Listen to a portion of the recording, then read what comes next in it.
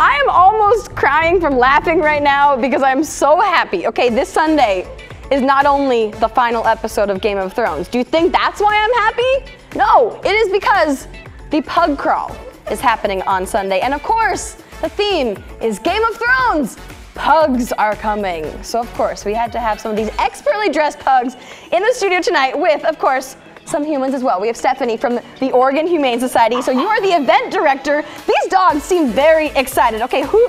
Please introduce us to these very royal pugs here in the studio. so you'll see we have a, a, lot of pugs, and these are pugs that come year after year to the event. This is our 14th year, Hi. and they all have different costumes. Um, and you, most can be your own interpretation, but you can definitely see our pug in the wheelchair, Grandma Trinity, is uh, oh, Daenerys so Targaryen.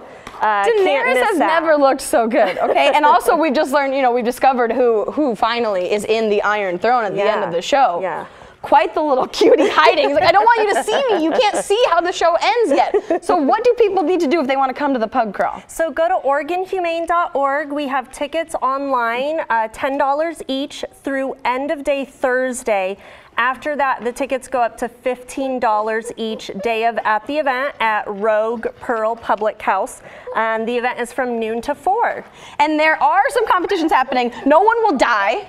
No one will die. Which is very rare for Game of Thrones. So this is why I like this version of Game of Thrones better. But there are actually competitions happening? Yes. So the most popular activity at the event is our Parade of Pugs, which starts at 2 p.m.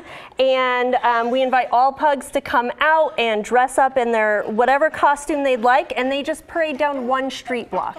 Just a little stroll. Oh my goodness. All the pugs are getting so excited. They're like, look, I see myself on the TV. I think Daenerys is very excited.